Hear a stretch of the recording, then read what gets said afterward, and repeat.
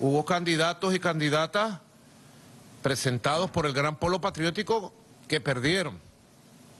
Algunos perdieron por las divisiones que quedaron de las primarias. Y otros perdieron porque el pueblo no votó por ellos. ¿Mm?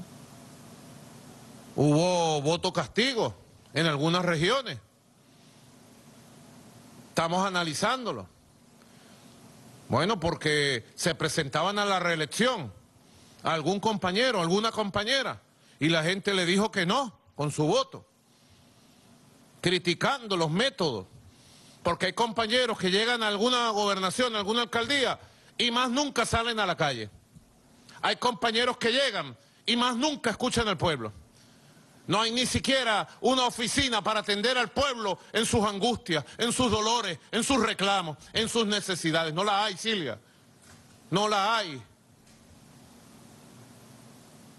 Y se encierran, se encapsulan, una cápsula. Se aíslan del pueblo y el pueblo padeciendo. Y nadie atiende. Una cloaca que se rompió, queda ahí tres años rota no llega el agua. ¿Y dónde está el gobernador? ¿Dónde está la gobernadora? No es para resolver esos problemas. De repente es una bomba, un mecánico la arregla, la pone.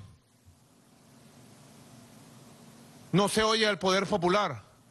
Y cuando vienen las elecciones, entonces empiezan a buscar al poder popular para ver si los apoya. Todo eso está en el análisis. Causas propias causas internas, causas externas, para saber la verdad. Porque allí, allí donde nosotros hayamos cometido errores, hayamos perdido e inclusive hayamos ganado, porque el pueblo noble nos dio la victoria, allí hay que ir a un gran proceso de refundación, de renovación, de cambio, de rectificación a fondo y ese es mi mensaje principal de hoy 28 de noviembre. Vamos a un proceso profundo de conexión, de comunicación, a escuchar al pueblo.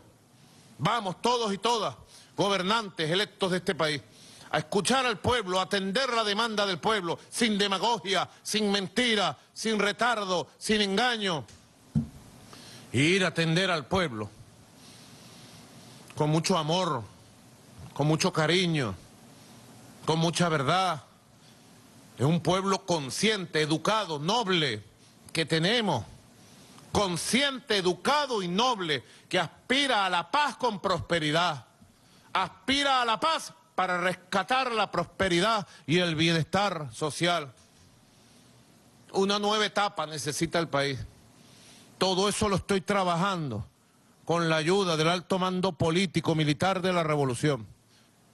Todo eso lo voy a trabajar en los próximos días con gobernadores y gobernadoras, alcaldes y alcaldesas electos, a trabajarlo con las fuerzas revolucionarias que somos mayoritarias en el país. Tenemos la primera responsabilidad. Y voy a sellar un de y de refundación de la revolución bolivariana en una nueva etapa constructiva con los líderes y lideresas electos por el pueblo el domingo 21 pasado en este mes de noviembre. Un pacto de refundación, un pacto profundo de cambio concreto, cambio para la acción, para una nueva visión, una nueva etapa una nueva etapa, una revolución verdadera necesita una dialéctica de adaptación a la realidad y de apertura a los nuevos criterios, a las nuevas ideas, de renovación del ideario, de la visión estratégica, táctica y del accionar. Eso es lo que necesitamos en la revolución bolivariana. ¿Les gusta? ¿Les parece? ¿Dónde está el café? Vamos a conversar de eso. Y yo le voy a dedicar todos estos días a trabajar ese tema. con un gran espíritu crítico y autocrítico. No se trata de autoflagelarnos.